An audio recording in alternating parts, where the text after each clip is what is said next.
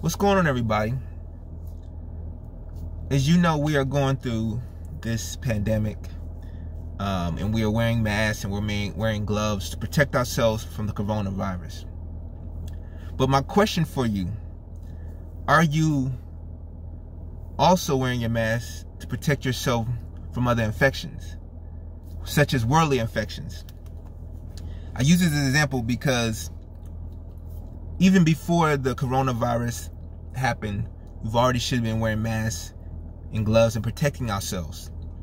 Not in the physical standpoint, but in the spiritual standpoint. Because there are a lot of things in this world that uh, we ingest that affects us in a fleshly way that it deteriorates on our flesh. It, it hinders our spirit from growing. And I simply um, wanted to share a message. You know, I always say I'm not a preacher. I am just a messenger of what God's put in my heart to share and um, the things that I have gone through in my life. So I was I, I just finished doing a devotion about distraction, being distracted, being distracted from your purpose. And I want to, you know, go through a scripture, um, Psalms 73, 26, where it says, my flesh and my heart may fail, but God is the strength of my heart and my portion forever. And simply understanding that your heart and your flesh may fail, your flesh may deteriorate, your heart may stop. You may, whatever it is that may happen with your body, the strength of God continues to live on through us. But we have to make sure that we allow him to live on. And I've I've been I've been allowed myself to be distracted from what God um, wants me to do as far as getting into His Word even more. I was simply asked the question: um, Are you spending enough time with God in His Word? And the answer was no like a few weeks ago because I will wake up in the morning and maybe check an email, check a text, check social media. When I wake up in the morning, I'm thankful to be awake, to, to wake up the, and I'm thanking God. But is God's word the first thing that I do when I wake up in the morning? No, it wasn't. And now I'm trying to train my mind for that to be the case. Um, because understanding when you're distracted, when the devil distracts you from things that God wants you to achieve, he wants you to be a better person in a way of being a better person of this discipleship. Because me as a man of Christ, I'm supposed to go out and make disciples. I'm not saying I got to go out and preach to each and every person, but people I come in contact with, they should be able to see God in me because of something I'm saying, something I'm doing. Not for me to get the credit, but for him to get the credit because it's never about me. I'm simply just a vessel. So I always say to myself, whenever I'm in a, uh, whenever I meet people, I want to make sure that I be a blessing in some kind of way, that I leave them different um, than when they before they met me. And like I said, it's not about me. It's not about me making me feel good or making me like, oh, I didn't know. I don't take credit. If God put something on my spirit to do, on my heart to do, I'm gonna do it and be like, it's thank God. Don't thank me.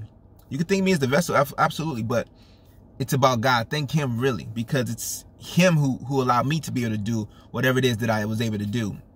And what I learned long time ago was that I've be I, I gain more satisfaction when I do for others than I did when I did for myself. That was something I've I never experienced before when I first experienced it. And I was like, wow, this is pretty weird. But it was also very refreshing because then you know that you're doing something of God because when he makes you feel good about something that you do for somebody else more than you feeling good about you doing something for yourself. Um so I wanted to just say that make sure that we are not being distracted by things in our lives, things that's going on right now with the COVID-19, to distract us from what our real purpose is or what our purpose is. Because in this business, I'm in entertainment business, some as you know. Um, what if you're not able to, to act anymore? What will you do? What if you're not able to write another script anymore? What will you do? What if you are not able to produce or direct or to do anything in an entertainment business that you're doing? What will you do? Because as you see, everyone is affected by the COVID 19. The industry is affected. The world of sports is affected. Everything, jobs are affected. Everything is affected. Some business may not be able to survive after this. People are affected. The question is, what will you do when or if you get out of this situation differently? How will you operate? How will you maneuver? Because sometimes what happens is we have faith while things are good. But when things are bad, the faith disappears. Our faith will be challenged constantly, daily, weekly, minute by minute, hour by hour. Our faith will be challenged. And if you're distracted, your faith will definitely be challenged even more. If you're allowing things that don't really matter as much to distract you from your purpose that God has said that He wants you to do, you will face some things that you would never imagine facing before because you've lost sight of his kingdom. You lost sight of what his purpose is for you. And another um, devotion that I started doing is talking about um, the, the spirit, the, the fruit of the fruit of the spirit, and where there's five parts of the spirit, and it's not five parts, not five different fruits, but it's almost like an orange that you chop into five, nine, actually nine, sorry, nine parts of the fruit, that you chop into nine pieces. That's nine pieces of that fruit, that same fruit. So you have to make sure that your fruit is growing from the right tree. Because sometimes the fruit looks good, but it's planted in the wrong place. It's rooted. The tree is rooted in the wrong thing. You can't your your your flesh and your spirit can't coexist together. You can't be led by the spirit and led by this flesh. You can only be led by one. And as you see, a lot of times our flesh will get it get in our way. Will we be in our, our pride, our egos, and things that are self-seeking.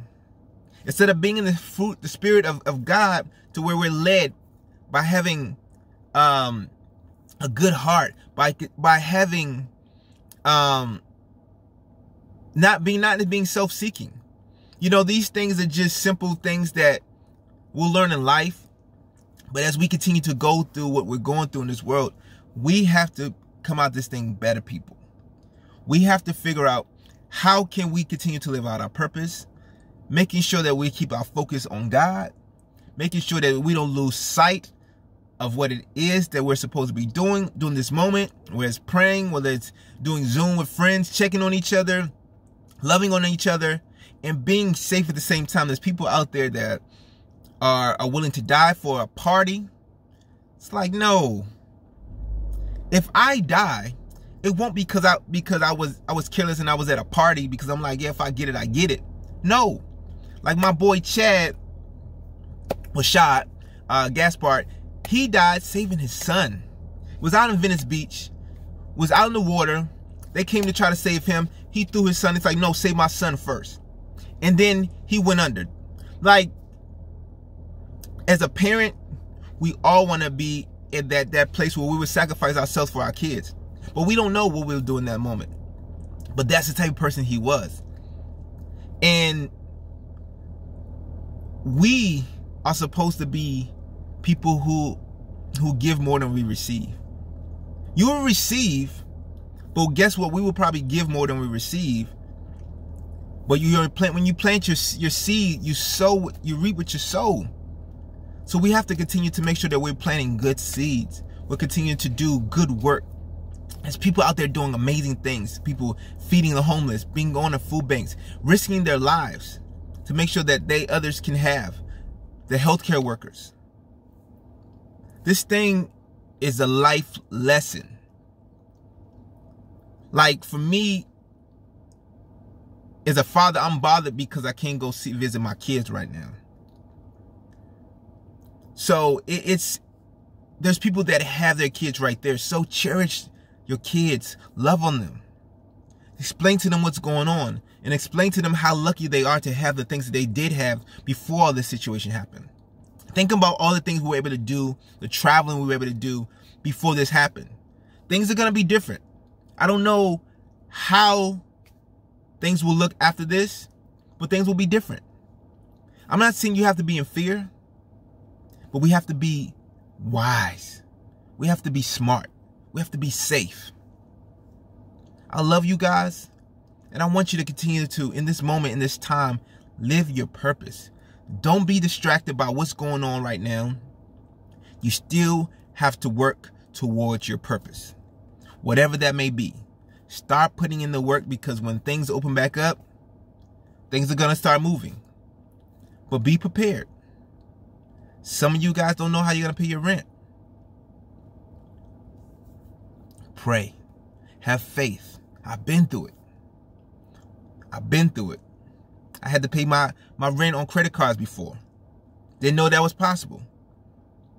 I had to make decisions. I had to do things that that had I not been still and trusted God, that I would have been panicking, that I would have been trying to borrow, steal, beg money from people.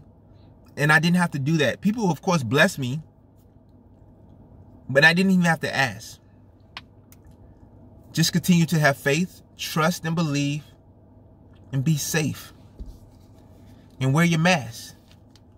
Protect yourself physically and spiritually at all times, making sure that you stay protected. I love you guys and be blessed. I hope this message reaches or touches somebody, even if it's one person. I'm just trying to make disciples and do what God intended for me to do. I'm not perfect, by no means. I'm just trying to make sure that I do my part. Because tomorrow's not promised. I don't know when it's my time. But while I'm here, I want to continue to do the work. All right, love you. Be blessed.